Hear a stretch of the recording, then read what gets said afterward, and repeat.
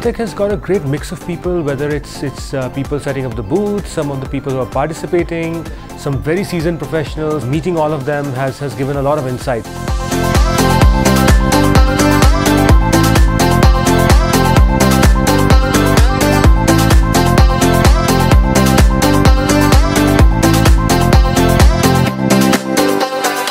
This is my uh, first time in AdTech and the experience has been absolutely amazing.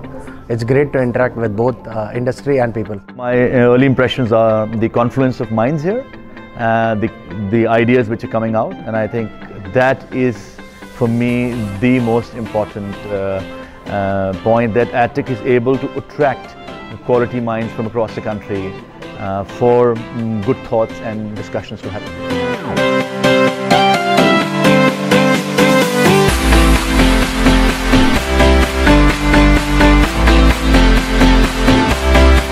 Digital is truly front and center now. Uh, you can see that by the number of people attending AdTech. Two would be that uh, it's no longer just about the digital marketing heads. Uh, you have everybody from Cyrus, Cyrus Broacha to the key CMOs attending the event. And probably three would be the ecosystem is booming. Look at the exhibition center, it's just massive.